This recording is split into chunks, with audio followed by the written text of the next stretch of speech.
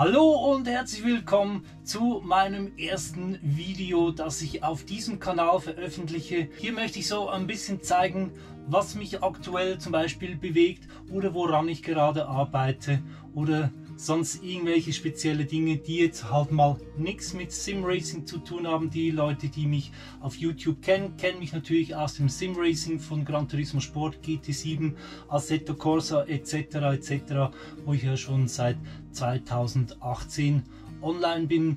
Und ja, jetzt habe ich ein neues äh, Projekt in Angriff genommen, den Ausbau eines Opel Combo C Jahrgang 2012 1,6 Liter Motor mit Gas und Benzin kann der betrieben werden. Also ziemlich praktische Sache. Auch ein bisschen kleine Nachteile. Erdgas gibt es nicht überall. Aber ich denke, das sollte eigentlich soweit nicht ein großes Problem darstellen. Die Idee war, ein Microcamper zu bauen. Ich war 2020 mit dem Camper mit meiner Freundin unterwegs und äh, in Italien. Das war richtig, richtig toll, hat mir mega gut gefallen und äh, das Rumreisen hat mich dann irgendwie so ein bisschen gepackt.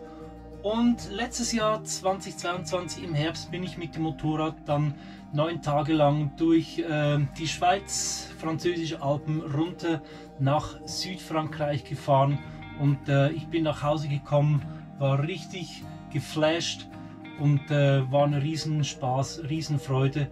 Aber immer wieder dieses ähm, Übernachtungsmöglichkeiten suchen oder man müsste mit dem Zelt, dann ist wieder das Wetter nicht passend und so weiter und so fort. Und dann kam die Idee, ich baue mir selbst einen kleinen Microcamper sozusagen.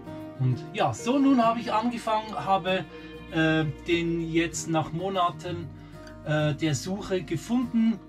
Ähm, wie gesagt, Opel Combo C, Jahrgang 2012, habe ich mit 95.000 Kilometern jetzt gekauft ähm, kostete mich rund 5300 Schweizer Franken. Ist für den momentanen ähm, äh, Marktpreis ganz okay. Substanz habe ich den Eindruck, ist wirklich top. Kein Rost gefunden, außer hier oben bei der ähm, seitlichen Schiebetür. Da gibt es eine ganz, ganz kleine Stelle, aber die lässt sich ohne weiteres behandeln. Sonst untenrum alles picobello sauber, kein Rost ähm, und alles im Top-Zustand. Also von daher denke ich, habe ich eine gute Basis. Ja, was habe ich bisher gemacht? Ich habe die ganzen Seitenverkleidungen natürlich herausgenommen, habe alles gründlich gereinigt, herausgesaugt, wo es nur gibt, äh, ging. Eine ganz, ganz kleine Stelle gab es, wo es ein wenig Schimmel hatte. Nicht weiter tragisch, konnte ich behandeln und entfernen. Und ähm, ja, alles gereinigt und geputzt. Und dann ging es ums Ausstopfen der Hohlräume in der Karosserie und das habe ich mit 4 cm dicke Hanfmatte gemacht. Hanfisolation, Biohanf, äh, rein natürliches äh, Material, keine Giftstoffe drin, die da ausgasen. Am Anfang müffelt es ein klein, klein wenig, aber finde ich nicht weiter äh, schlimm. Lieber das als irgendwelche Chemikalien, die sich dann ähm, ja, in die Atemwege begeben. Da bin ich ein bisschen heikel. Auch das Holz ist unbehandelt, habe eine Unterkonstruktion gebaut. Da konnte ich dann das Täfer drauf montieren. Während dem Bau ist mir dann hier aufgefallen, da habe ich dann noch so viel Platz.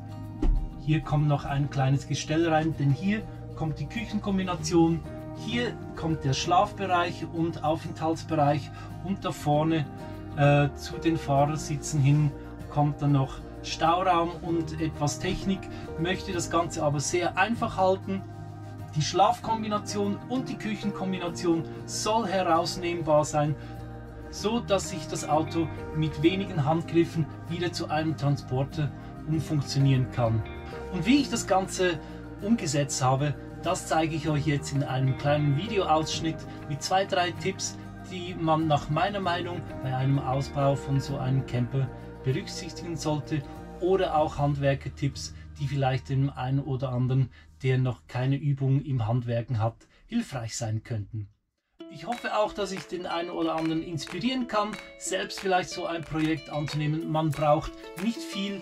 Ich habe einen Akkuschrauber, eine Stichsäge,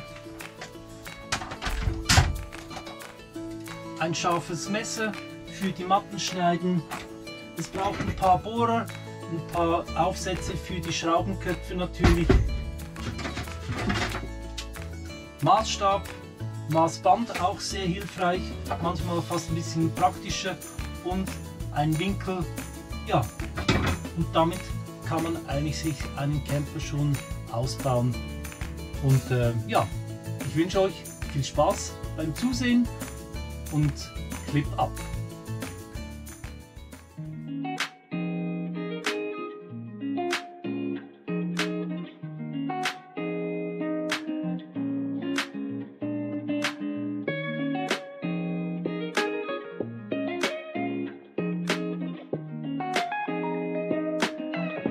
So, und jetzt, um sicher zu gehen, damit ich auch das Gewinde nicht kaputt mache nochmal, neue Schraube, die hier weg, neue Schraube und ich werde es jetzt diesmal schlauer machen und zuerst von Hand ansetzen.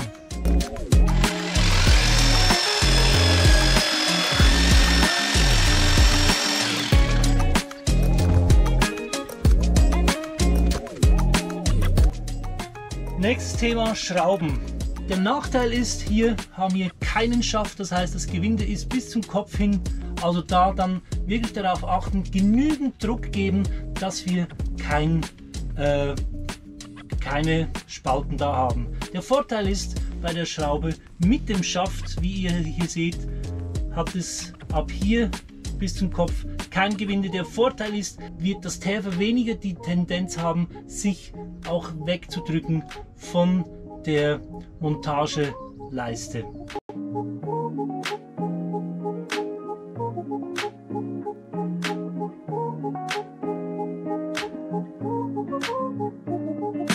Ein weiterer wichtiger Hinweis an der Stelle noch, achtet bei eurem Auto darauf, bei meinem Auto hier, bei dem Combo Opel Combo C, ist es, dass hier dahinter befinden sich die Zugänge, um die Birne der Rückleuchten zu ersetzen. Also guckt darauf, täfert das nicht einfach zu, wenn ihr so sowas macht oder andere Verkleidung macht. Lasst hier immer die Option frei. Ich kann hier dann später werde ich mir was eine Abdeckung bauen, die ich dann wegnehmen kann mit ein paar wenigen Handgriffen Isolation raus, ist ein einzelnes Stück der Isolation und kann innerhalb von wenigen Minuten hier dann die Hauptschrauben lösen, die Rückleuchte rausnehmen und die Birnen wechseln, falls notwendig. Ein weiterer Tipp, wenn ihr Bretter schneidet, dann ist bei der Stichsäge das so, dass die Zähne nach oben schauen. Also sprich, wenn ihr die schöne Seite nach unten habt und die Zähne nach oben zeigen quasi, dann reißt es nicht die Faser aus. Wir sehen die Vorderseite schön, Hinterseite das Holz ausgefranst. Also wenn irgendwie möglich auf der Hinterseite oben sägen, dann haben wir einen wunderbaren, schönen, sauberen Schnitt. Ich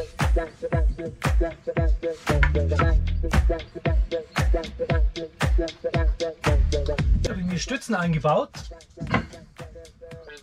und entsprechend das Bodenbrettchen und ihr ahnt es vielleicht schon, es geht hier nämlich darum, hier kommt die Küchenkombination hin.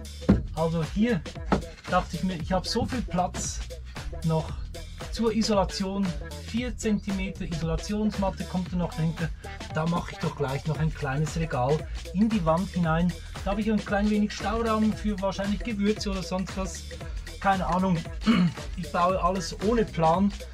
Ich äh, gucke, was mich vor Ort jeweils oder während dem Bau in den Sinn kommt, was für Möglichkeiten ergeben sich, wie muss ich was lösen. Das entscheide ich jeweils spontan.